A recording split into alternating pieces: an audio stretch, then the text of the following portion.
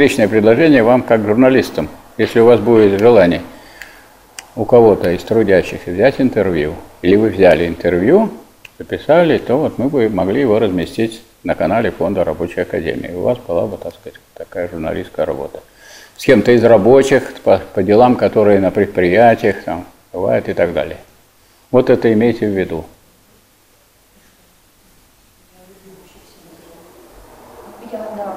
А? Хотите, да? Ну вот с Сергеем Викторовичем договоритесь, как связываться.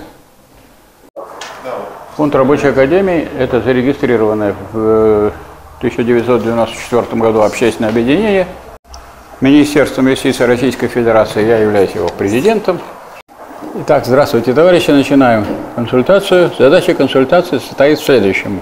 Есть вопросы, которые для вас абсолютно ясны и понятно, как на них отвечать, и точнее, как на них отвечать на отлично. А есть вопросы, у которых, в отношении которых у вас есть некоторые сомнения. Вы хотели бы, чтобы я это уточнил, или вам что-то разъяснил, или что-то поправил и так далее. Поэтому консультация имеет какой формат? Формат такой, что вы задаете любые вопросы, связанные с теми вопросами, которые вам даны, и в данном случае вы как бы меня экзаменуете, а я вам отвечаю. Как только это закончится, наша консультация, тогда вся ситуация переворачивается, и завтра в 10 утра начало экзамена, как вы знаете. Здесь же, в 504 аудитории, я буду вооружен ведомостью, и все будет носить сугубо формальный характер. Там никаких вопросов, как вы понимаете, экзаменатору, ну какие вопросы экзаменатору, и не задают. И экзаменатор никакие вопросы не отвечает. А сегодня наоборот – я на все вопросы, какие вы зададите, буду отвечать, любые, и, и столько, сколько вам нужно для того, чтобы разобраться в тех проблемах, которые есть. Пожалуйста. На консультацию никто не обязан приходить, а кто пришел, имеет так сказать, все безграничные права. Слушаю вас. В вопросе политический спектр общества. Это довольно широкий вопрос. Нужно конкретно о России говорить? А? Нужно... Вопрос Я это я слышал, да. Нужно конкретно о России говорить? Да. Да. Нет, не совсем так. Говорить нужно о том, что это такое политический спектр общества. Да? А сказать, э, на примере потом можно будет это дело сказать, приводить пример в качестве примера России, но не обязательно. Вы можете взять в качестве примера и другую страну. Может, вам проще Мозамбик взять. Я смотрела вашу лекцию. А? Я смотрела вашу лекцию, вы говорили про Россию. Я говорил про Россию, но вам здесь хочется вам Мозамбик, а у вас не написано же политический спектр России, там написано политический спектр общества. А в качестве примера можно говорить все что угодно, правильно? Ведь что такое политический спектр? Это понятие, применимое к самым разным странам, да? Применимые. Но и мы разбирали, что это такое. А раз, э, если мы понимаем, что это такое, если вы можете ответить на вопрос, что это такое, что такое политический спектр, имеется в виду все политические, политические партии, движения, которые есть в, этом, да, в обществе. В разных странах они называются по-разному, но при, этой, при этом разнообразии у нас сейчас какое, какие два типа обществ есть э, в мире? Даже три типа обществ в мире. А? На э, формационном уровне. Какие мы имеем информации в современном обществе? В современном мире? Буржуазно. Пролетариат не информация, пролетариат это класс. Это рабочий класс. Рабочий класс может в буржуазном обществе, может быть в социалистическом обществе, правильно? Может быть в переходном периоде. У нас какая картина? Политическая картина вообще, то есть политическое устройство э, различных стран какое? У нас есть чисто капиталистические страны, раз – у нас есть социалистические страны. Что такое социалистические страны? Вот по этому поводу, сколько я не бьюсь, я даже удивляюсь, то ли нынешнее образование такое слабое, то ли еще как-то вот э, для тех, с кем я учился, и это ведь старый вопрос. Социалистическая страна, социалистическая страна называется с момента совершения социалистической революции. Вот совершила социалистическая революция, она социалистическая. А в этот период, когда она с момента совершила социалистическую революцию, социализм есть? Ну как оно может быть социализм? Откуда этот социализм? Социализм это что такое? Это коммунизм в первой фазе. Откуда, как коммунизм вы сразу получите? Какая экономика на второй день? Вот у нас 7 ноября была революция, а 8 ноября какая была экономика? Ну, такая, как и 7. А 9 ноября какая была экономика? Такая, как и 8. И вообще национализация в России, например, когда прошла основных средств производства? А? Национализация. Вот совершилась социалистическая революция 7 ноября 17 года, 25 октября по старому стилю, когда прошла национализация в России. В Советской России когда прошла национализация? Ну, все понимают, что пока национализации нет, собственность какая господствует? Ну, частная. Ничего не произошло в экономике, кроме одного. Рабочий контроль был введен. Что такое рабочий контроль? Вот вы можете сидеть вот здесь сбоку, и в кассе, если вы рабочий контроль, и смотреть, как я читаю лекции, как вы слушаете, какие вопросы задаете, и не вмешивайтесь ни во что. Правильно? А в чем тогда смысл этого рабочего контроля? Во-первых, в том, что предполагается национализация, и к ней надо готовиться. Чтобы были люди, которые немножко понимали в том, что они собираются национализировать. Не надо ни во что вмешиваться, но надо внимательно слушать, следить, смотреть и так далее. Это во-первых. Во-вторых, чтобы э, машину завести, так сказать, и чтобы станок работал, нужно очень многое знать и уметь. А чтобы его сделать неработающим, нужно очень немного. Очень важную деталь выкрутить и в ближайший вот водоем, в Неву, или в фонтанку, или в Вохту выбросить, и все. Поэтому вторая задача, если вы собираетесь проводить национализацию, если, скажем, рабочий класс собирался проводить национализацию, он собирался, поскольку социалистическая революция делается не для того, чтобы вот установить новую власть и сидеть там, новые портфели, новые люди, а в том, чтобы делать шаги, которые ведут к социализму. А до социализма, от социалистической революции до социализма как до неба. Очень долго. Например, если вы знаете, сколько в России занял путь от социалистической революции до построения социализма. В России уже преобразовалась в СССР, присоединила еще другие республики, да? создался Советский Союз единый – и когда построен был социализм в СССР? Это очень важный вопрос, поскольку мы уже с вами разбирали, что социализм – это коммунизм в первой фазе. Какой? Неразвитый, неполный. Почему? Потому что преодоление классов осуществлено лишь в основном. А что значит в основном? То есть нет антагонистических классов, нет класса буржуазии, все трудящиеся. А если есть трудящиеся, то никаких, никаких антагонистических противоречий между рабочим классом, колхозным крестьянством и интеллигенцией быть не может. Но это когда произошло? Это очень долгая история и очень трудная история.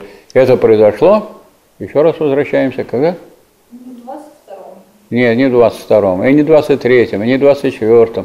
А когда появились первые, для того, чтобы это вообще могло произойти, надо было провести индустриализацию, раз – индустриализация – это ничего такого социалистического не представляет, потому что индустриализация – это восполнение того, что не доделал капитализм. Индустриализация раз, и индустриализацию проводили уже по плану. А планомерное развитие промышленности у нас датируется каким годом? 28-м. В 28 году появился первый годовой и пятилетний план, только с 28 года. То есть с 28 года производство стало планомерно подчиняться общественным интересам. А критерием того, какая собственность общественная или частная, является следующий вопрос. Подчиняется производство общественным интересам? Тогда общественная собственность. Не подчиняется, что бы там ни писали на вывесках. Социализм там, советская власть, общественная собственность, это не имеет никакого, государственная собственность не имеет никакого значения. Потому что суть общественной собственности в подчинении производству общественным интересам. А если написано там такое и такое и такое, а нет подчинения производству общественным интересам, то тогда и социализма нет. Так вот у нас не было, во-первых, частная, частная собственность была в деревне, в деревне вообще буржуазное развитие буржу... Э, капиталистического строя шло, правильно? У нас снова появились кулаки, как в 28 году. Столько же, сколько было их до 17 года. Середняки, бедняки, батраки. Эти батраки – это сельскохозяйственные рабочие, поэтому это очень долгая история. Поэтому и в сельском хозяйстве частная собственность царила. И никакого не может быть социализма, когда в городе нет социализма и в деревне нет социализма. Поэтому вот все эти задачи, очень сложные, были решены только к 1936 году. Поэтому с 1936 года собственность, можно было сказать, что создана общественная собственность на средства производства. А раз создана общественная собственность, то как называется общество, основанное на общественной собственности, на средства производства? Как? Коммунистическим. И в отличие от того, что в головах у обывателя, значит, дескать, вот там когда-то, когда-то, может, построить, не построить, в СССР был построен коммунизм. Ну какой? Не развитой, как вот, э, когда КПСС была при смерти, бывают такие предсмертные судороги, и во время предсмертных судорог всякие глупости начинают говорить. Как может социализм быть развитой, когда он по смыслу неразвитый, незрелый, неспелый коммунизм – низшая фаза, которая во всех отношениях, в экономическом, нравственном и умственном, несет отпечаток того строя, из которого он вышел. И это не то, что я сейчас вам придумал, а это написано у Маркса в критике Готской программы еще германской социал-демократии. И это написано было в государстве революции, до, до революции было, 17 -го года. Вот Ленин сидел в разливе и писал и писал, скрывался от Временного правительства, пока здесь вот товарищ Сталин делал доклад о вооруженном восстании на шестом съезде осень, летом 17 -го года. Сначала вот в Выборгском районе, потом у Нарских ворот. А в это самое время вот Ленин думал, если собирается брать власть, надо же соображать, что там будет. Что получится? А вот получиться может только что именно неразвитый, незрелый, неспелый социализм. Так не бывает, чтобы сразу появился какой-то там зрелый. А, а зрелый или спелый социализм – это какая-то глупость. Поэтому и авторов вы не найдете, и никто не скажет, кто это придумал такую штуку, такую блажь. И они куда-то все попрятались и исчезли. Хотя, э, скажем, Суслов с этим ходил, Михаил Андреевич – это люди, которые под эту э, глупость на общенародное государство, хотя государство всегда классы подводили как бы базис. Дескать, вот экономика развитого социализма и общенародное государство. И получилась какая-то новая конструкция, далекая вообще от научной теории. Возвращаемся к, к, этому, к этому периоду от момента революции до построения социализма. Это какой период? Как называется? Речь-то идет не, не о России, и о Советском Союзе, это не важно какая страна. Переходный период не просто, а переходный от чего к чему? От капитализма к чему? Коммунизм. Коммунизм. А уж какой там коммунизм, это второй вопрос. Так вот, на сегодняшний день что имеется? Имеется основная масса государств капиталистических, так? Основная масса. Но далеко уже не, не сильно преобладающее. Почему? Потому что, скажем, государство, которое находится в переходном периоде, или государство, где построен коммунизм, то есть социализм, таких государств на сегодняшний день только одно – КНДР. А было до падения Советского Союза, значит, Советский Союз, Куба, ГДР, Болгария, Румыния, Венгрия, Албания – а Польша нет. Потому что Польша коллективизацию сельского хозяйства не провела, и у нее была в городе общественная собственность, а в деревне частная. И поэтому никакого социализма или коммунизма в Польше не было. Поэтому ей нечего было, собственно, там и, и, и рушить, поскольку она еще не построила это дело. Теперь, кроме этих стран, были еще в переходном периоде Корея, Вьетнам, да, Лаос, между прочим. В 1975 году там совершилась социалистическая революция, Лаос. Вьетнам не маленькая страна. Сколько, как вы думаете, в Вьетнаме человек живет? Он у нас не очень фигурирует, так сказать. Так у нас немножко однобокая получается картина в средствах массовой информации. Крупные страны, так сказать, как бы игнорируются, не замечаются. Вот сколько там человек во Вьетнаме? Не знаете. 90 миллионов человек. 90. Это во-первых. Во-вторых, Вьетнам – это та страна, которая победила Соединенные Штаты Америки. В единственной большой войне, которую Соединенные Штаты Америки самостоятельно вели, ну, кроме, не считая Мексики, и не считая борьбой с кубинскими добровольцами на, на острове. А в России сколько человек живет? 140 на сегодняшний день. А во Вьетнаме 90. Пожалуйста. Так вот, на сегодняшний день в странах, в которые совершили социалистическую революцию, а это Китай, миллиард триста восемьдесят миллионов, Вьетнам, 90 миллионов, КНДР, тоже социалистическая страна, но построившая социализм. Или сохранившая, можно сейчас сказать, имея в виду, что в Европе не сохранили. КНДР 15 миллионов, Куба 11 миллионов и Лаос 6. Итого мы получаем полтора миллиарда человек живут либо в переходном периоде от капитализма к коммунизму, либо вот в первой фазе коммунистической формации. А всего у нас в мире сколько? Ну, это вы знаете или нет? Семь. Ну, вот видите, чем из чем из них полтора миллиарда. Вот. Более того, значит, когда говорят, вот весь мир капиталистический, у нас мировой кризис, нет больше мировых кризисов, не было мировых кризисов после 2017 года. Потому что эти кризисы никак не, застра... не затрагивали страны, которые находятся в переходном периоде. Откуда там может быть кризис? Там нет превосходства частной собственности, поэтому там кризисов нет. Или, скажем, темпы роста. Вот у Соединенных Штатов Америки по сравнению с Россией бешеные темпы роста. Ну, бешеные, потому что у нас почти нулевые, поэтому если вы возьмете 2,7 у Соединенных Штатов, 2 кусочком, то это намного больше, чем у нас, и тут нам нечего тут нос задирать России, потому что это просто ужасный темпы роста. А если вы возьмете китайский, там 7,2. Видите разницу? И, значит, по паритету покупательной способности ВВП китайский превзошел американский ВВП. И картина не такая, вот как была в свое время, когда Россия была одна в мире, советская, когда она по всем параметрам уступала.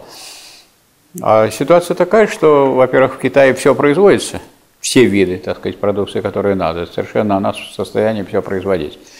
Это во-первых. Во-вторых, э, в Китае на сегодняшний день э, по объем, объем и темпы роста производства выше, чем в США. И поэтому картина поменялась. И поэтому мы наблюдаем такое явление, вот, на фоне которого мы должны и другие международные вопросы рассматривать, что э, в Шанхайскую организацию сотрудничества, в которую входит США и Россия, входят крупнейшие капиталистические государства. То есть некоторые капиталистические государства считают предпочтительным для себя лучше соединиться союз с соцстраной, с Китаем. Почему? Потому что Китай их не съест. А Соединенные Штаты демонстрировали многократно, могут съесть, потому что Югославию съели, Ирак съели, Ливию съели. Хотите, чтобы вас съели? Идите к нам. Нет, они говорят, мы вас с вами дружим. Индия дружит со Соединенными Штатами? Дружит. Стратегическое партнерство у них. И куда вошло? Вошла Индия вместе со своим ядерным оружием – Шанхайскую организацию сотрудничества, где Китай и Россия.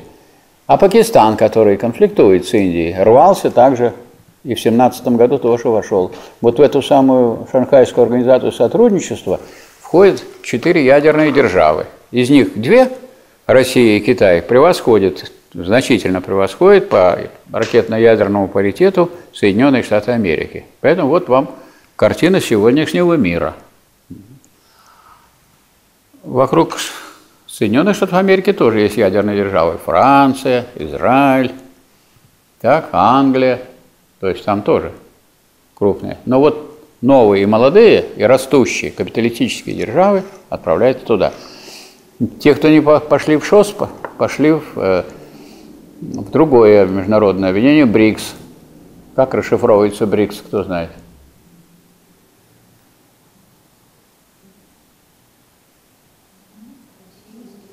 Бразилия, Россия, Индия, Китай. Опять знакомые вам. Индия, Россия, Китай. И Сауф, Сауф Африка, Южная Африка. Южная Африка. Куда? Опять вокруг России и Китая. Тоже не хотят. То есть ситуация такая, что капиталистические страны некоторые, учитывая авторитет и определенный характер политики, из которой никак не следует, что их раздавят и задавят, они сближаются с, со странами, в которых переходный период. А в Китае переходный период объявили аж на сто лет. Поэтому некоторые странные люди говорят, вот там есть миллиардеры. Так это переходный период. Значит, там есть и капитализм, и социализм. А раз есть капитализм, так а почему не быть миллиардером?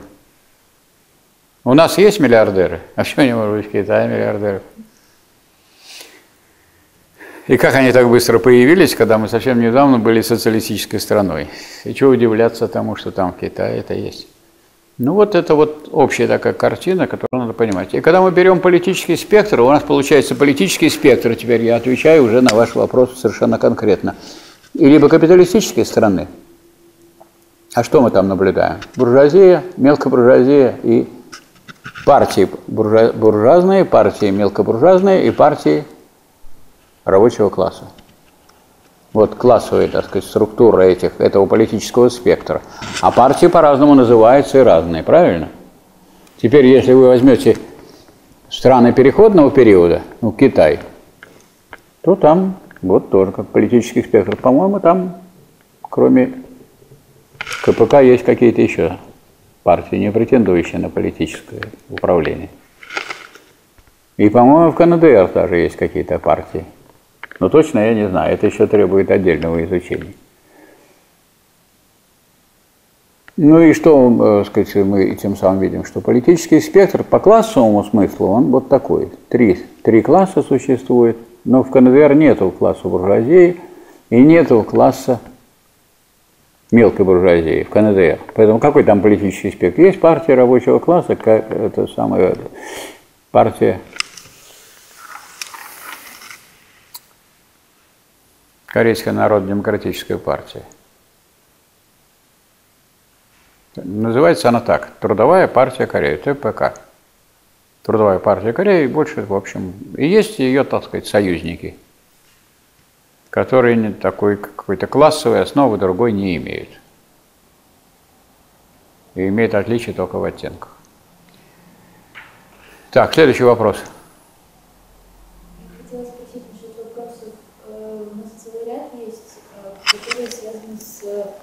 Понятием культура, а, вот конкретно там вопросы, например, культура история, культура экономика, культура нравственность, политика, государство и культура личности. А, на какие источники опираться? Ну, во-первых, у вас есть лекции, раз. Во-вторых... Там не все А вот таких вопросов нету, которые вы назвали. Я таких вопросов не видел у себя. Где вы взяли культуру И, культуру И? Вот что такое культура было, там есть понятие культуры, потом есть таланты, таланты, гении, это есть. Ну и какие номера? Номер, номер как покажи, скажите. Быстрее 137 вопросов. Ну. А, и номера этих вопросов, например, 113, 114, 115, 116, 117, 117. Да. Ну, так что там написано? Культура и история, культура и экономика, культура и нравственность, культура и политика, культура и государство, культура и личность. Так, в чем вопрос? На какие источники опираться? Значит, опираться надо, во-первых, вы что такое культура мы разбирали в лекциях? Понятно, что такое, да? Знаете, что такое культура. Что такое экономика разбирали? Вам остается самостоятельно решить проблему. Если вы знаете, что такое культура, что такое экономика, как они соотносятся. Вот и все. А? Там есть еще нравственность. И нравственность, по нравственности у нас была лекция, была, вопрос разбирался, разбирался. Значит, что такое нравственность, значит, что такое культура. Если я знаю, кто, так, что такое лошадь и что такое корова, я могу их сопоставить. То есть вам надо только сопоставить эти два понятия и сказать, как они связаны. В чем тут сложность? Если есть в чем-то сложность, вот скажем, что вот, вот вы пробовали что-то сопоставить. Культура и политика, например, да? Культура и политика связаны? Политика классовый характер носит. А культура? Нет. Культура сама... Что такое культура? Культура – это накопленный опыт человечества. Материальный и духовный. А накопленный опыт, он как бы в, снима, в снятом виде это уже берет спящим. Это все результат уже деятельности. Как бы классовая борьба, она затихла в культуре. В культуре она в виде образов художественных, да, литературных. Вот что такое Тихий Дон? А Тихий Дон политическое произведение или художественное Шолохова? Вот он получил Нобелевскую премию. Кто эту Нобелевскую премию давал? Ну, буржуазия же. А кто такой Шолох? Ну, он так, с точки зрения его как личности, там, скажем, он э, такой политически вполне однозначно ориентированный, коммунистический. Ну и главный герой Тихого Дона, он где закончил, в какой армии свое, так сказать, движение по, по политическим, так сказать, линиям?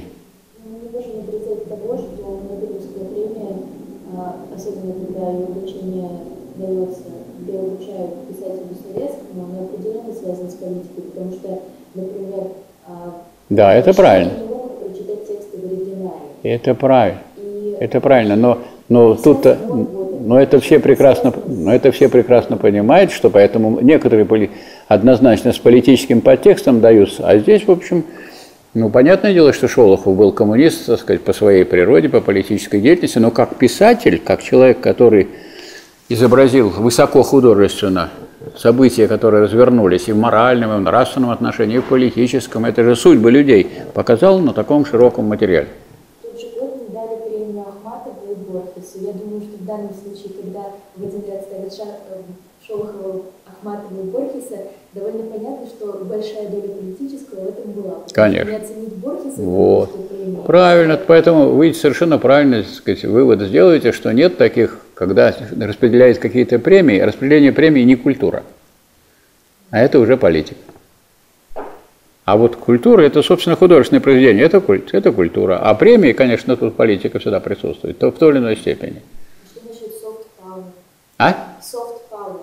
Есть же ну, soft power, мы как раз недавно слушали лекцию, куда а, Дмитрия Языкова, который заведует отделом современного искусства в Эрмитаже, он как раз много рассказывает про soft power, и если рассматривать культуру через призму и произведение искусства через призму как раз этой стратегии, то получается, что в нем достаточно много политического.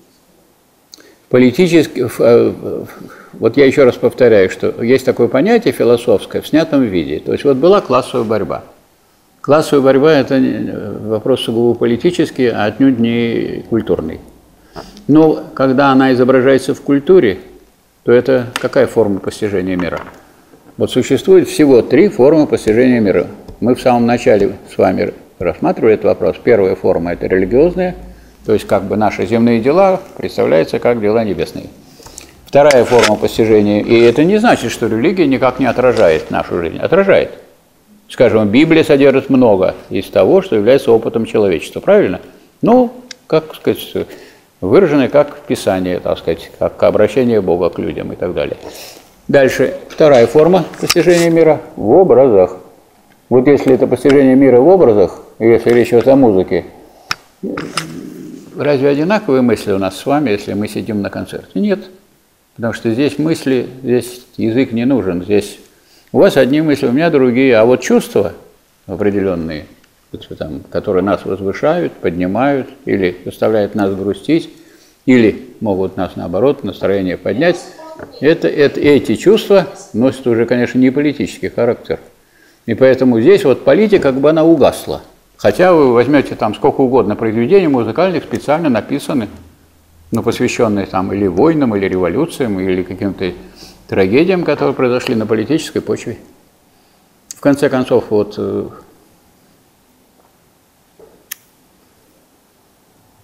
кто был, э, сказать, э, человеком, который убил Кармен. Он же контрабандист был. И она пошла в контрабандисты. И что это, опера контрабандистам посвящена? Или она высоким чувствам человеческим посвящена? Любви посвящена. Правильно? Это разные вещи. Поэтому а, вы не, вы не, не изымите политику из жизни, но постижение может быть не в понятиях, как бывает в философии, а в образах. Вот как только это в образах музыкальных, литературных, архитектурных, это уже само по себе не политика.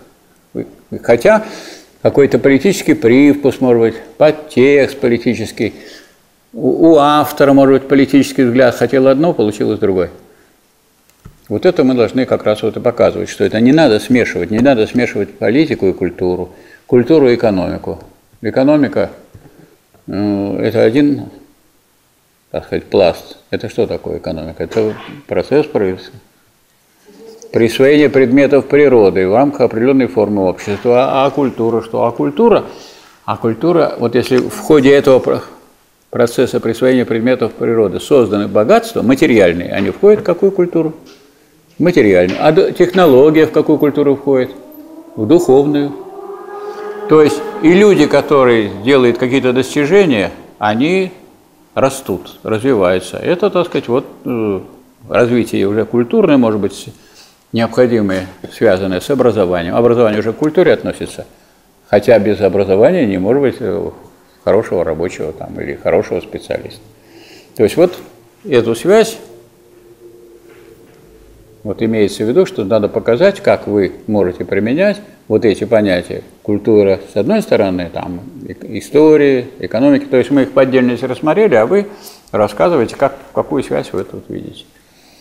То есть, а можно рассмотреть связь с той стороны, то, что с точки зрения политики иногда культура начинает использоваться как инструмент точно такого же самого? Да, конечно. Культура уже используется. Ну, потому что вот эта вот бутылка – созданы не для того, чтобы в, нее, в меня метнули ее, но ведь можете вы разозлиться на то, что как я вам отвечаю, и, значит, а потом скажете, вы были в состоянии аффекта. А раз в состоянии аффекта, уже мы возьмем правовой аспект, освобождает даже людей, которые совершили убийство. Говорит, вот оно совершено в состоянии аффекта. А такое я наговорил, что вы не выдержали, и раз, и метнули. И попали прямо вот в голову. И я не выдержал. И тем не менее, а, а это не значит, что мы не должны различать все равно, для чего была эта бутылка. Она не для этого была, она для того, чтобы вы могли, послушав, что я там сказал, сказать, отпить и послушать дальше, и все. Так, еще вопросы? То есть экзамен понятие творческое, тем более журналисты это кто такие? Тем более заочные, они вообще все, у вас все заочное. Никто вам ничего не подскажет вообще. Вы все, все должны сами думать, творить. Это хорошо. Потому что самостоятельность, она, вот люди читают, читают, и какие-то штампы у них. У вас штампов меньше всего. Правильно? Чем меньше ходишь на лекции, тем меньше штампов, да? Правильно понял? Это метод такой Но вы же не прекращаете заниматься, правильно? Я тоже, например, на некоторые лекции не ходил. Я на, ни на одну лекцию по политэкономии не ходил вообще. Но я читал в это время «Капитал». Как звонок, я вот открываю, иду в библиотеку и начинаю читать «Капитал». И я так прочитал. А на занятии семинарском, там же та очень злая тетенька была у нас, она подходит, что вы там такое делаете? Я говорю, я «Капитал» читаю. Он так, видит, отходит от меня спокойно, и все. И я два тома «Капитала» прочитал, не потратив ни одной минуты. Ну, кроме того, что вот были занятия по политэкономии. Ну, третий том пришлось читать по воскресеньям. Если я скажу, что вы там сейчас делаете, я Гегеля читаю. Я, я с уважением отойду, ну, что я могу сказать? Что я, не читайте Гегеля, давайте я вам расскажу. Так, еще какие вопросы есть? У вас вопрос. Вы с вопросом же пришли или с ответом? Ответом. С ответом. Да. Еще вопросы от тех еще не сдавали вам билеты и хотят, их, хотят сдать экзамен. Что за билеты Завтра. такие? Билеты мне никто не никакие. вам вопросы, ответы на вопросы. Так. Он хочет, ну, собирается завтра на экзамене. Ну. А, они отвечают по всему списку, тянут билеты, такой вопрос был, либо они выбирают? Они выбирают два, также все выбирают два вопроса. И, и отвечают, да, приходят на экзамен. Или приходят на экзамен, выбирают. Когда они выбирают, это это дело хозяйское. А также вопрос о тех, кто отсутствует. А, скажите, пожалуйста. А вы их, у вас доверен, доверенность есть? Да. Хорошо. А с печатью? А за их завтра они должны будут здесь писать ответы на вопросы или могут также принести Это дело... Вы же заочники. Где, где хотите, где и пишите. Можете... Вы не видели, там есть такая фотография, как у нас Таврическом дворце Ленин там на ступеньках на ступеньках Таврического дворца был первый конгресс комментариев, он что-то там пишет. Ну где вы там напишете ответ? Это разве я могу вмешиваться в вашу творческую лабораторию? Где хотите, там и пишите. Когда хотите, тогда и пишите. Я-то что должен проверять? Содержание, правильно? То есть вот, а что, где бы вы ни написали, я спрошу, а это что такое? А почему это так? А как вы это доказываете? Объясните это. Вот вы меня спрашиваете, я объясняю. А завтра будет картина противоположная. Я спрашиваю, вы объясняете.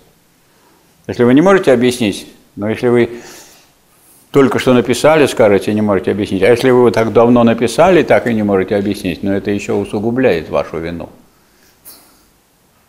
Что вы там такое написали, и, может быть, могли бы вы к этому вернуться и посмотреть. Знаете, как вот люди посмотрят, что я написала, что за чушь. Ну и, так сказать, и такой существует метод написать заранее что-нибудь, потом через некоторое время, ну, события какие-то, вот вам казалось так здорово, потом посмотришь, а уже не так. Могу вам рассказать по этому поводу анекдот. Один товарищ, вполне возможно, что он был журналист. Но, как всегда, журналистам, и ученым нужна какая-то идея, которая, а она не всегда приходит, светлая. Такая талантливая, которая, вокруг которой можно было бы все это завернуть. И он очень боялся, что идея придет не днем, когда он спокойно запишет, а ночью. А потом он э, заснет, и все, а больше она не придет. И вот он приготовился к приходу этой идеи, он всегда держал, значит, стол, на столе была бумага, и не авторучка, которую могут написать, а карандаш, который никогда не подведет. Вы в курсе дела, что когда полетел корабль «Союз Аполлон», закончились мучения наших э, американских коллег, потому что они говорят, что это ничего в этих у русских нет никаких проблем, потому что со всеми этими авторучками в космосе проблемы с чернилами. А наши вооружились карандашами и спокойно все записывают. И вот он положил карандаш. И, и вот однажды она пришла, мысль. Он вскочил и сразу эту мысль записал и лег спать. И проспал 13 часов. А куда ему теперь пишите? Ну, она уже поймана. И вот он просыпается уже в середине дня, солнце светит в окно, открывает это окно, смотрит на столе, его бумага, и там написано «Воздух сух, как гвоздь». Так что бывает, что заранее напишешь, потом почитаешь, оказалась такая, все-таки думал, что это великая идея, а оказалась идея не такая великая.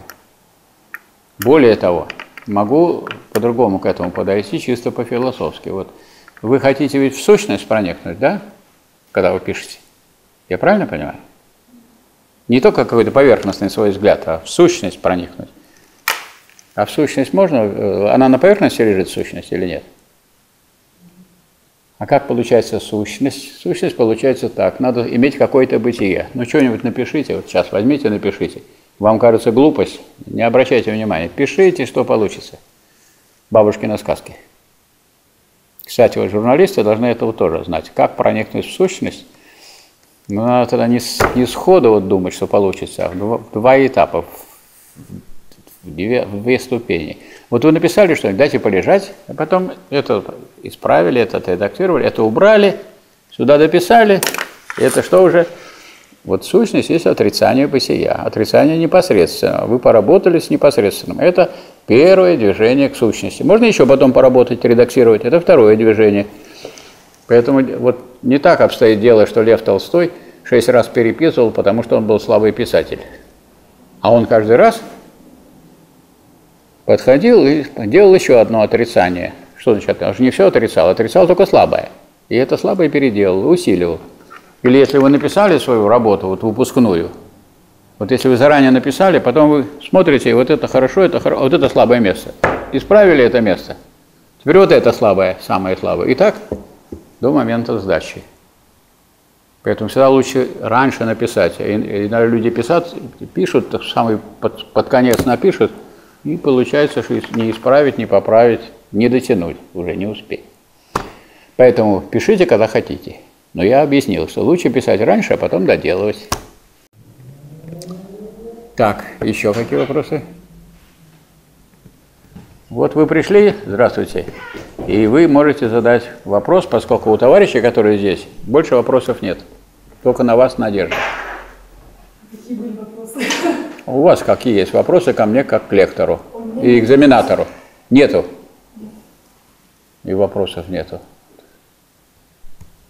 Без вопросов. Тогда на этом консультация завершается. Значит, вот кто что мне хочет дать показать, вот сюда можно садиться, а я буду смотреть. Я хотела вас спросить. Давайте. Можно показать в конце уже?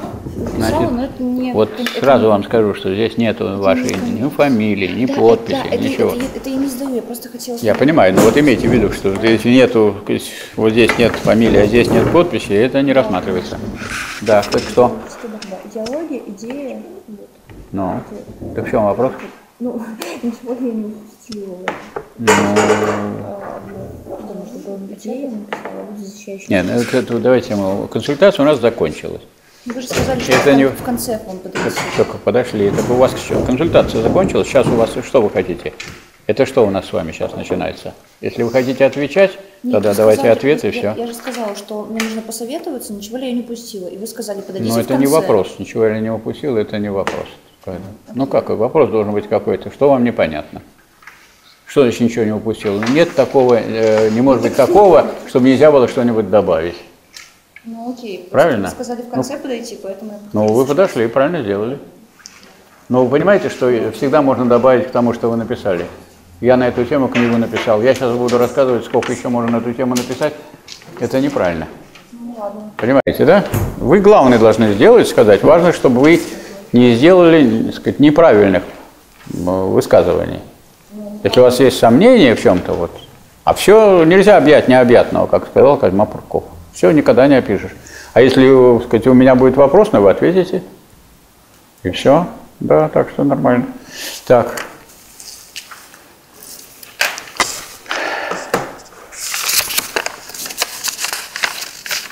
Подписи нет. Надпись. Товарищ журналист, надо отличать над и, и под. Два таких понятия. Над, к сожалению, Нету особенно места просто. чего нету? Это не у вас нет места, а вы так оформляете свою работу, что у вас не осталось места для подписи. А документ без подписи – анонимка.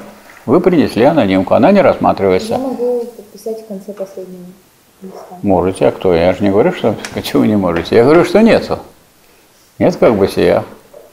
Только что вы доказывали, что нет места, и уже нашли. И все в порядке, проблемы. Это не, вообще не проблема. Но это надо понимать, что, ну скажем, как, ну какой-нибудь документ, вот вы можете представить себе, юридически берется без, без подписи. Это серьезно мы сейчас делаем у нас? Вы государственный университет?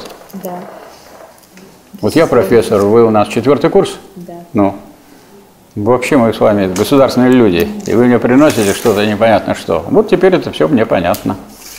Так. Так, это первый вопрос и 111 вопрос. Так, начинаем смотреть уровень материи, соответствующие формы ее организации.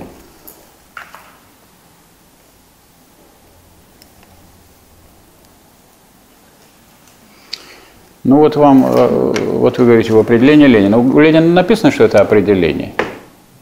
Нет. Не написано. А вы почему считаете, что это определение?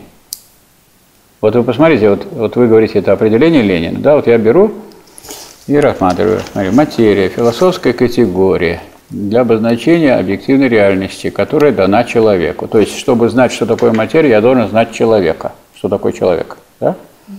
А зачем? Что это за определение материи? Материя сначала была, а человек потом появился. Что же, нельзя понять без человека, что такое материя? Ну, это. Это раз. Что значит, которая дана? Кем дана? Фамилия? Богом? Можно тогда претензии не ко мне, а к Ленину? Это к вам претензии. У Ленина не написано, что это определение, это высказывание. Роза есть растение. Это определение розы? Это правильное высказывание Ленина, правильное. Но это не определение. Я вам объяснял, что такое определение. У Гегеля есть определение. Это качество, которое есть в себе, в простом нечто, и сущностно находится в единстве с другим моментом этого нечто, с нем бытием. С чего вы взяли, что это определение? Это неправильно, это не определение. Так, свойства материи, уровни организации материи.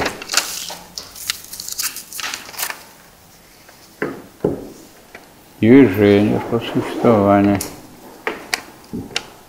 Механическое и социальное движение. Так.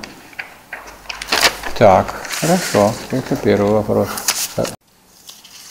Второй вопрос будем смотреть. Распределение культуры и поп-культура. Распространение культуры и поп-культура. Вы отождествляете поп-культуру и популярную культуру? Тут вы написали популярная культура. Ну да. Но это отождествляете, да? Ну, я Или они различаются? Потому что популярная, вот есть популярная музыка, популярные э, Это, Журналы. это производные от популярной культуры. Поп-музыка, поп-арт, поп... э, Ну вот, в том, то есть это вот некоторое особое направление все-таки. Да. Не все популярное же называется поп-культурой, правильно? Не знаю, насколько я поняла из словарика, поп-культура – это именно сокращение от популярной культуры. А Сокращение или направление в культуре, которое, так сказать, вот так называется. Вот я поняла, что это именно вот популярная культура. Просто которая- популярная культура. Ну, у вас написано популярная культура, вы не, ее не пишете поп-культура. Да. Ну, поэтому к вам претензий нет тут. У вас написано популярная культура, это область культуры, доступна для понимания представителей всех социальных слоев. Да. А вот теперь поп-культура и массовая культура. Вы их разделяете, да? Я э, пишу про то, почему есть два понятия, которые вроде бы кажутся тождественными, но в отечественной традиции они не тождественны, в западной традиции они отождествляются, они синонимичные. И поэтому некоторые положения, которые, например, касаются ну, а, анализа франкфуртской школы массовой культуры, они могут быть применимы и к популярной культуре. Просто, просто Ну, понятно, да, согласен. Понятие поп-культуры и массовой культуры примерно тождественные. Вот я хотел бы пойти вам навстречу и задать такой вопрос. А Вот тождественные. Вот то, что тождественно, оно э, различается или не различается? Я так понимаю, что тождество – это равенство. Нет. Это Вот мы с вами как люди тождественны или нет? Вот вы человек, я человек. Ну, мы равны в правах, получается. Нет, что значит правах? Нет, я спрашиваю, мы как люди с вами тождественны или нет? Но с биологической точки зрения, по большей части, наверное. В общем-то, наверное, нет. Почему это биологическое? Во-первых, человек это прежде всего социальное, а потом уже биологическое. Потому что сущность человека, Но социальные роли у нас, естественно, совершенно разные. до роли-то у нас разные, но мы тождественны или нет, как люди? Ну а какое может быть равенство людей? Вот скажите, пожалуйста, какое может быть равенство людей? Тогда забудьте тогда вообще о равенстве. Если вы равен, ну только перед законом, а законов не будет. Разве законы вечные? А государство вечно, что ли? Равенство ценностей нашей жизни. А? Рав- Равенство ценностей нашей жизни. Ну как может быть равенство ценностей вот совсем вот, вот? Ну как вот одни, один одно любит больше, другой другое. Вот, как такое может быть? Такое разве может быть? Разве может быть равенство? Вот, вот даже если вы возьмете вот чисто арифметическое равенство, 5 равно 5, да? Можно писать? Вот сейчас у нас есть GPS, так, или, или другой спутник, который вам скажет, что это вот одни координаты, это другие координаты, это слева, это справа. И как бы вы ни писали, вы никогда не напишете 5 и 5 одинаковыми. А если вы напишете одинаковыми, то начнете пересчитывать молекулы, и точно они не совпадут. Не- Близнецы разве самые, что на есть, похожие, они разве не отличаются? А разве бывают такие вот люди, которые ничем не отличаются? А разве бывает в обществе что-нибудь, чтобы ничем не отличалось? Не бывает. Поэтому понятие то. Но есть философское понимание. Вот если вы откроете учение о сущности Гегеля, там написано, что тождество есть всегда тождество различного. Мы можем быть с вами тождественны только как люди, а во всех отношениях мы не тождественны. А это вот тождество, тождество, различие. А мы различные люди. Теперь о различии будем говорить. Мы с вами различные люди. И вот мы этим утверждением, что различные, только подчеркиваем, что мы кто? Люди, а то есть тождественность. Значит, Поэтому, поэтому у Гегеля вот, доказывается учение о сущности, то, что вы еще не изучали, поэтому к вам и претензий нет, потому что это не такая простая вещь.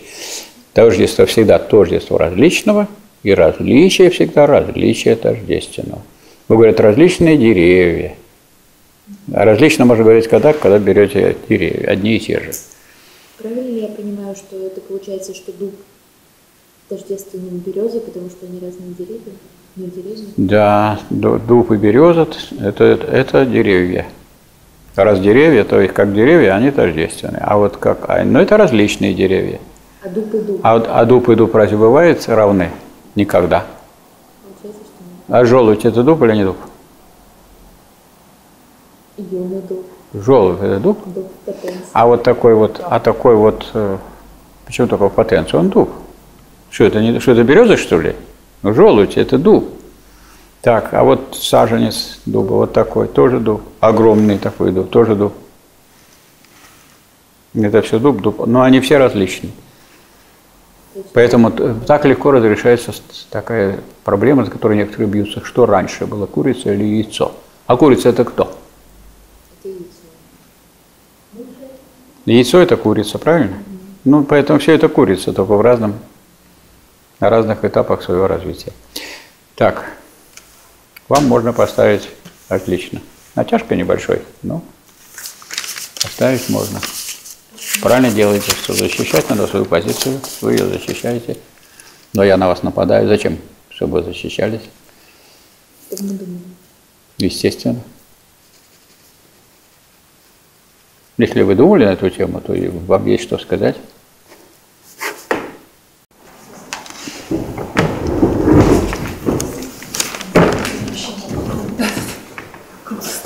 Александра Субботина, все понятно. Таланты и гений. Ну и да, гений, человек выдающийся, направивший свои способности на развитие человечества, своей деятельностью продвинувший. А вот если он только направил, это еще не гений, да? Если направил нет гений, э, это человек, направивший свои способности, имеющий эти способности, добившийся результата. Вот. То есть реально продвинувший Да, вот кто реально продвинул, тот гений. Поэтому никогда, вот скажем, можно сказать, гениальный ребенок, но это понятие к ребенку, строго говоря, гений неприменимо. Вот есть, свершился факт. Гениев всегда мало, а способных людей Способных и много. талантливых много. Да, очень много, да. Так, хорошо. Понятие классики, культуры. Ага. До свидания. Ну, всё. Там тоже можно отлично поставить. Типы социальных революций.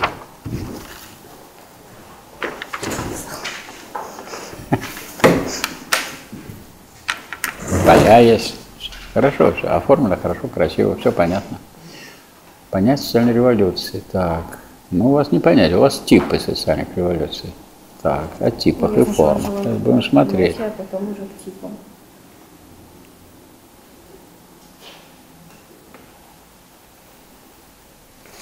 Какие же типы у нас сейчас вот еще? Вот, тип социальной революции определяется экономическими и социальными противоречиями. Это нехорошо. Экономическими и социальными. Это очень нехорошо.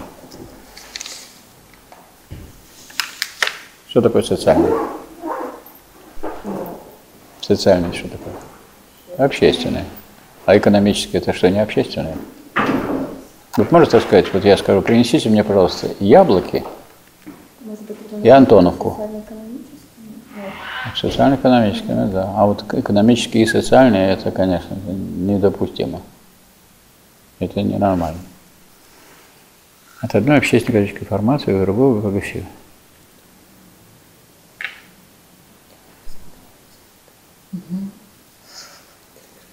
Более того, вот скажем, экономическое это самое главное в социальном, это же основа. Социальное, общественное, и среди всех общественных отношений выделяется экономическое. Пришли люди и студенты, так можно сказать? Вы скажете, как вы относитесь к нам вообще, что это такое? А вы скажете, пришли преподаватели и люди.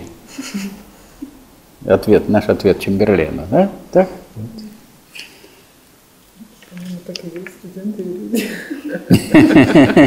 Мне кажется, мне кажется, в отношении первокурсников это прям Это прям восточно. то. Слушай, абитуриенты люди. Социалистический, так. Хорошо, противоречивый характер общественного развития. А вот вы говорите, в философии нет единой теории общественного прогресса. Это, это странно или это, так сказать, понятно? А как может быть единая теория, если в идеологии какие, сказать, существуют противоречивые позиции? В идеологии. А как может быть единая теория социального прогресса? Как-то вам как-то. Вот вы так пишете, как бы это ненормальность или это совершенно закономерно, что и не, и не может быть единой? А? Ее не может быть, да. Так, остается мне спросить у вас, а что такое прогресс? Прогресс – это развитие от низшего к высшему. Развитие – это движение низшего к высшему, от простого к сложному. А что такое прогресс? И что такое регресс? Прогресс – это процесс. То есть вот тут есть развитие, вот здесь есть прогресс где-то, да?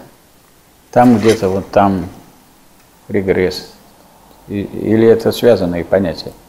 А, ну, Ну, так, ну да, прогресс – это от, ни- от низшего к высшему, а регресс – это от низшего к высшему. Ну да. А, ну да, регресс – это от высшего к низшему, прогресс – это от низшего к высшему. Ну и где это все происходит? Вот Где это происходит? Как соотносятся? Вот три понятия, смотрите, вот три понятия. Вот развитие, пишу. Развитие, прогресс, регресс. Вам надо вот Ну, эти ведь, три э, понятия обрисовать. А, Какая, какое прогресс, понятие он самое из них? Развитие. То есть развитие, оно может быть как А развитие что такое? отрицательное. Да. Ну, в смысле регресс я. Это у вас сейчас идет отрицательное развитие. Нет, я имею в виду, что развитие это не всегда прогресс, это может быть регресс. То есть, э, вы этих- не торопитесь, вы подумайте Да. немножко, подумайте, я пока займусь, а вы подумайте над этим, чтобы вы не наговорили то, чего не нужно наговорить. Развитие, прогресс и регресс, как они связаны между собой? Что здесь является более общим? Развитие. Развитие более общее. Так, и что? Ну вот как они все эти сопоставляются, все эти понятия. Так, это у нас Чернявская Яна Сергеевна. Журфак. Видите, как все-таки факультет все-таки не умер. Пока есть журналисты, да? Тип цивилизации. Основная тема. Духовная культура – специфический способ человеческой деятельности. Способ это, да еще специфический.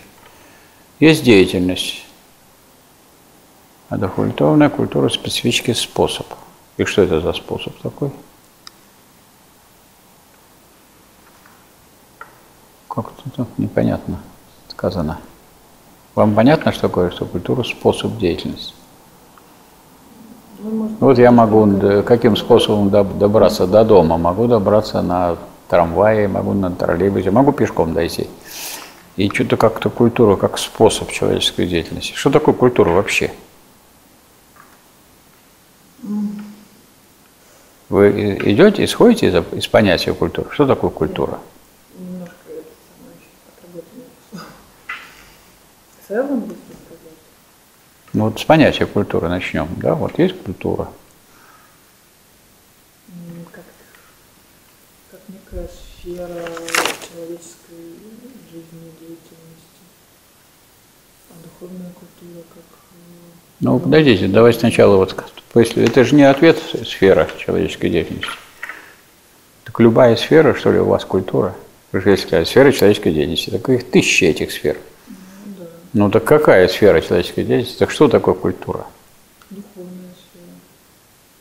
А наука что, не бездуховная? А Если дух вон, тогда уже будет и все. Тогда нет культуры. Наука это не. Вот там мумии лежат в Эрмитаже, они точно бездуховные. Точно бездуховная. Дух у них из них давно вышел, но они сохраняются. Их там учат.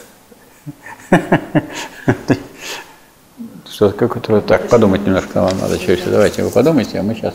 Ну вы разобрались, да? Развитие, прогресс и регресс. Ну, развитие это же э, процесс перехода от одной стадии к другой.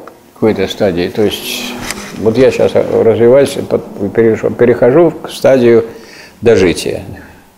Это, вот это развитие, вы считаете? Это точно я перешел в стадию дожития. Вот про вас я не скажу, что вы доживаете. Правильно? Я вам завидую. А вы про меня можете сказать. Ну, и, так сказать, из соображений перед экзаменом, так сказать, вот воздерживаетесь это говорить. И это что в этом развитии состоит? Но это движение. Движение это точно. Вот я ехал и упал. Движение. А вот когда человек падает с 16 этажа, это разве не движение? И это развитие. О, говорит, смотрите, как он развивается. И скорость набирает, и набирает, и набирает. И даже ускорение у него же есть. Так, это вы еще не додумались. Так. Ну, тоже рассказать про, про регресс и прогресс. Нет, у вас свои вопросы. А вот у вас ничего такого страшного нет, вы можете завтра прийти, а дома да, этот вопрос для себя решить. Или посоветоваться с товарищами. Или спросить на консультации у меня. Она еще не закончилась. Убрать это дело, да. И завтра прийти, как ни в чем не бывало. Правильно? Структура, потому что это в таких вопросах, ну как-то, ну это такие вопросы, в которых надо разбираться как-то однозначно. Так. Не может быть такой путаницы. Структура общественного сознания. Вот сейчас мы выясним, какое у нас сознание. Сложное явление. Ну, раз сложное, значит, оно сложное из простых. Стороны. Совокупность взглядов, идей и настроения людей. Настроение входит в общественное сознание, сомневаюсь. Ну, как настроение, как реакция. Это общественное сознание. в обществе события, да. Настроение. Но настроение, я имею в виду коллективное настроение, вообще настроение. Ну и как, оно Не- входит не в смысле, сознание? что Я, я хорошая, еще... хорошая погода. А в каком, а в каком смысле? Настроение и- как раз и бывает. Настроение только одно лишь настроение. Дела никакого не делаем. Настроены хорошо. Вот вы настроение у вас на отлично. Просто... Нет, настроение... Это говорят, как, это, как, как говорят на военной кафедре, подход. Отлично, ответ 2, отход отлично, общий 4. Ну, 3, 12 Когда я поделили. писала настроение, я имела в виду э, реакцию общества на происходящее событие. На Ну, а сознание тут при чем? Вообще, что такое сознание? -то? Как, как вы понимаете, сознание это что? Сознание, сознание это сложное понятие. Са- Самосознание. Я не сознание. спрашиваю, какое, я спрашиваю, что это такое. Ну, сознание... Я спрашиваю, что такое телефон. Вы говорите, это сложный очень прибор. это- Да, если вы... Дескать, что вы задаете такие вопросы, вам такие Нет. вопросы не надо и задавать. Такой сложный прибор. Ну, сознание это то, каким образом а, отражается в человеке а, то, что происходит Значит, это отражение его- человеком. его, там, Вот. Не то, каким образом, а именно отражение человеком явлений природы и общественной жизни.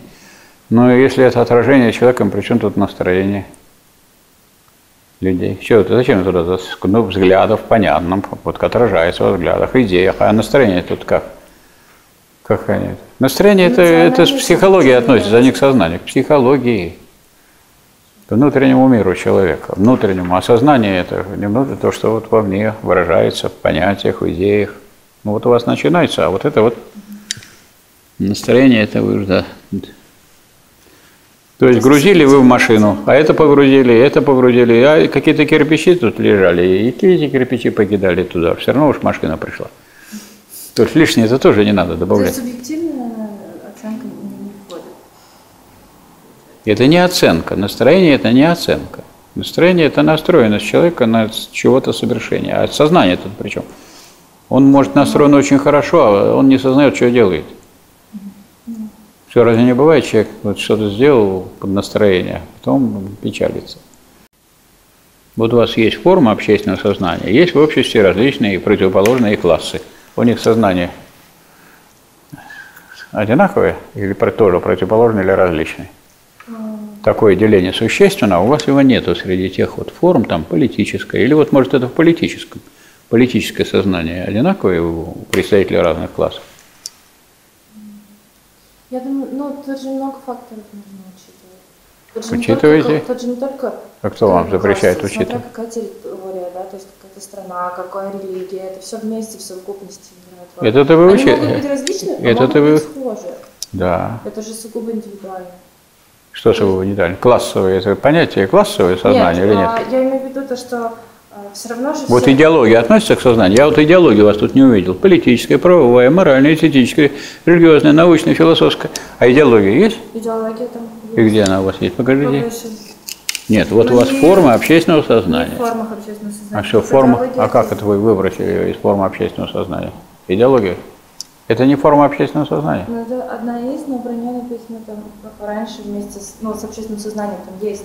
Меня учили так. Кто такой художник? Это который берет нужную Нет, про кряску и кладет ее в нужное место. А если вы не ту кряску положили не в то Нет. место, Вот здесь про идеологию написано. ну и что написано? Идеология. вот. Система взглядов и установок. То есть она в общественное сознание не входит. Вот Нет, я из этого и... Ну как нет? Вот если вы пишете здесь, что это идеология, а потом пишете форму общественного сознания. Идеология не входит в них. Но я же вижу, что не входит. У вас так построено, что не входит. Нет, ну вообще, а, просто я же немножко по-другому рассматривала, то есть я рассматривала а, изначально там день, ну, изначально просто общественное сознание, идеология различных. Не важно не как вы рассматривали, а чего рассмотрели, а что получилось. А получилось, что у вас идеология не входит в форму общественного сознания. Вот у вас написано, все правильно, это систематизированное отражение общественных интересов. То есть что надо делать? Так сказать, надо, э, соответственно, ставить. Так, ну что, хорошо, могу вам поставить. Так, до скорой встречи. Кому? Ко мне вернусь? Давайте. Ну, я подправила. Это правильный способ. Я бы сказала, что это вид человечества. Что это? Вид определенный человеческой деятельности. Вид. Ну, когда а, одно входящее из другого, то есть, ну, собственно, из культуры выходит, да, то есть определенный вид культуры, духовной культуры. Ну, да. А культура есть что такое? А культура-то что такое? О, ну, это определенный... Как правильно сформулировать? Не способ... Вы убираете эти бумаги, я вам уже говорю, как правильно сформулировать, завтра приходите, и все. Тогда это консультация. Ну, так а что я могу сделать? Но если вы завтра могли бы и так бы ответили, я бы завтра поставил вам два. У меня вопрос духовной культуры, а не культуры А у меня вопрос к вам, к тому, что такое культура. Потому что как вы можете отвечать на вопрос духовная культура, не зная, что такое культура? У нас же экзамен по всему курсу. Эти вам вопросы нужны для чего? Чтобы вам начать экзамен. Чтобы мне было видно, так сказать, понимаете? это? Обычно у нас вопросы задаются непосредственно А у меня необычно, необычный экзамен по вопросу, философии. не по всему курсу. Нет, такого не бывает экзамена. Всегда экзамены по всему курсу, и всегда экзаменатор может дополнительные задать вопросы. Не рассказывайте мне, я в университете с 1971 Да я не года преподаю. Очень давно. А если взять со студенческих лет, то с 63 года. И очень все знаю нравы, привычки, какие бывают. И все экзамены сдавал у всех всяких академиков. Так что не рассказывайте мне. Лучше э, скажите, что такое культура. Подумайте и скажите. Ну, культура, вот вы человек, журналист. Я спрашиваю, что такое культура, вы какие-то хотите, чтобы я вам дал скидки и, и, и, так сказать, оправдал бы то, что вы не можете сказать, что такое культура. Вы как-то должны подумать, собраться и сказать, что такое культура. Это такое всеобъемлющее понятие. Да хоть сто раз я объем, еще у меня лекция была этому посвящена. Ну, я- ну, что я могу сделать? У нас это есть вопрос. Вы, если это вы сами изучаете, сами Ну, изучаете на лекциях. Допустим, как э, определенный э, вид человеческой деятельности направленный на э, знаю, развитие, формирование, сохранение. Сейчас скажете культурных ценностей. И получится масло масляное. И получится замкнутый логический Да, круг. да, но это не такая простая вещь. Да, вот поэтому. Ну, разберитесь вы с этим вопросом. Ну, я у многих уже спрашиваю, и люди знают и говорят. Ну, Вот, и вдруг я наткнулся на то, что вы не говорите, что такое. Ну, как это идет от общего к частному? Как вы можете... Если я не знаю, что такое яблоко, а потом говорят, давайте я вам дам разные сорта. Нет, скажите, что такое яблоко, потом сорта. Если вы мне скажете типы машин, ну, давайте, что такое машина, а потом уже типы. Ну, как это может быть? Это не- иначе это не может быть. А потом начинаем делить. Мы уже умеем что-то делить, не зная. Вообще наука, философия, о всеобщем. О всеобщем. А вы хотите ее мелкими брызгами расточить на мелкие части. И она не растаскивается на мелкие части. Так остается у вас, у вас та же самая проблема. У вас есть общее понятие развития. Есть Я уже... просто не совсем понимаю, что не так в том, что я сказала, что развитие – это процесс перехода а, а из одного качества в другое. То есть это может быть А кто переходит? низшего- Иванов? Нет, не обязательно. А у вас, как говорится, еще из одного качества в другое. Не обязательно качество меняется. Но оно может быть циклично. Ну вот ваше Оно качество не меняется, а вы развиваетесь. А что, качество у вас поменялось? А что вы, какое качество у вас поменялось? Не обязательно качество в развитии. Вот это неправильное определение. Все скачки какие-то хотят качество поменять. Причем тут качество? И так все хорошо выглядите. Зачем вам качество менять? Или там, вы, вы человек умный, а поменяйте качество, будете неумный. Ну что такое поменять качество, представляете? Вы что? Что за задача такая, поменять качество? Нет, это неправильное определение. Хотя, сказать, движение от одного процесса к другому тоже По форме не совсем правильно, потому что движение от... Кто движется-то? Движение от одного. Так как это... Что движется-то? Почему от? Кто движется? Что движется? Человек, общество. Вот, как некий это субъект, да, или субъект, или материя. Материя тоже развивается, не обязательно человек. Ну и мат- Значит, это движение. Во-первых, движение. Так, это правильный ход. Движение. Какое теперь движение? Не от чего к чему, а какое. Вот теперь какое, а какое? Если вы напишете от Я к, поняла, да. то это кто-то третий. А э, вот вы от, от себя к себе развиваетесь или... А можно сказать, что развитие движения от себя к себе? Ну Вот вы развиваетесь или нет? Так вы ко мне, что ли, развиваетесь? Так вы от себя к себе. Да. Ну, можно сказать, что всякое развитие – это движение от себя к себе. Различие какого-то нечто. Нечто развивается. Оно двигается от себя не от Иванова к Петрову, а не от Петрова к Сидорову. А Петров развивается. Петров от Петрова к Петрову. Но от какого Петрова к какому Петрову? Вас как зовут? Алиса. Алиса. Вот вы от Алисы к Алисе двигаетесь, правильно? Ну, от какой Алисы к какой Алисе вы двигаетесь? Алиса одна и та же. Но будучи одной и той же, вы двигаетесь от какой? От себя старой к себе новой. То есть, Ну, в каком-то смысле, ну или да. наоборот, если это регресс. Но тогда это не развитие. Почему это вот, вот сразу вы, вы сразу не определив развитие, вы, значит, двигаетесь, вот, начинаете говорить о регрессии.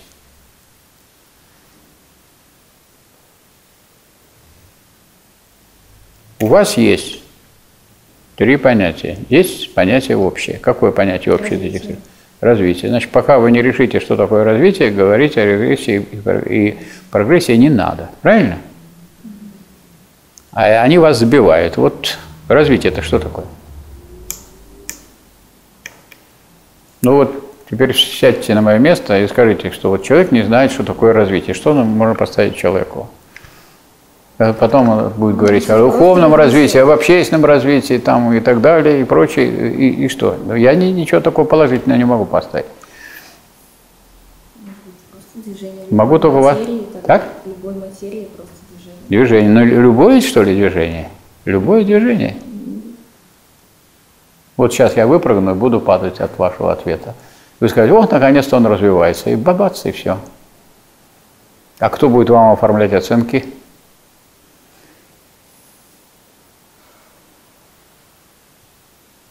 Ну, я думаю, вам надо поступить так же, как вот предыдущий товарищ, так сказать, пойти. У вас есть коллеги, пообсуждайте с ними, что такое развитие. В чем смысл, так сказать, и положительный шаг? Вы попытку предприняли? Ну, не все же мировые рекорды с первой попытки. Развитие, например, не всегда бывает с первой попытки, правильно? Попытка у вас была? Была. Это хорошо? Хорошо. Консультация по тому вопросу, который бы выбрали. Это нормально. Вот если вы были, у меня были аспирантка, я был бы ваш научный руководитель. Вы пришли бы мне и принесли статью. Я сказал бы, это не то, это не так, надо вернуть, переделать. Так? Так все и работает, так ведется вся научная работа в университете и во всех научных учреждениях. Это нормально. Причем приходят и ругаются между собой еще. У меня был научный руководитель, герой Советского Союза Василий, Иван Васильевич Котов. Ну, мы с ним ругались, страшное дело. Потом он написал мне положительный отзыв, и я защитился. по кандидатской. Ну, если честно, я могу сказать, что если вот студенты четвертого курса университета не знают, что такое культура, это очень обидно. Вот ну, мне, например. такое определение, как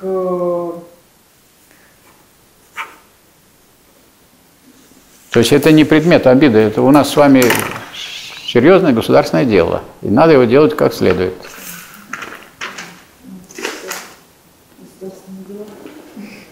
Да. Но вы, с- с- у нас ситуация в стране такая, что вы толком вам учиться не дают, вы должны бежать на работу. Правильно? да. Ну вот, тут все не повезло.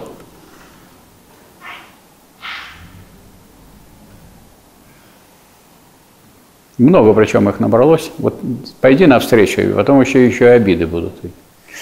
Так, ну вот, все.